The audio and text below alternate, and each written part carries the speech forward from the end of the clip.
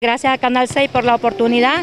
El próximo 3 de junio estamos eh, iniciando lo que es la Liga Municipal San Pedrana en categoría juvenil con diferentes ya instituciones que se han inscrito para la competencia, como ser Academia Hop, Academia Durán, la Escuela Serán, la Escuela Internacional San Pedrano, el equipo de gerencia de deportes y por ahí el equipo de Panteras.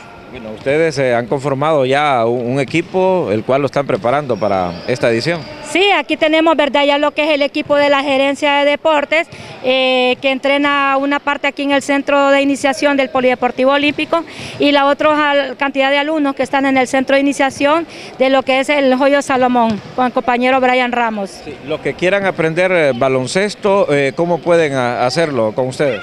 Aquí atendemos, ¿verdad?, de lunes a viernes, lo que es de 2 a 3.30, una clase y la otra clase de 3.30 a 5 de la tarde, igual que en el Joyo Salomón.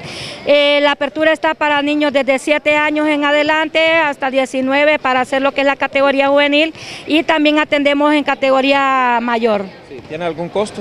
Es completamente gratis, ¿verdad? Es, es una clase que da parte de la Municipalidad de San Pedro Sula, ¿verdad? En, también en, en muchas disciplinas en todo lo que es el complejo olímpico.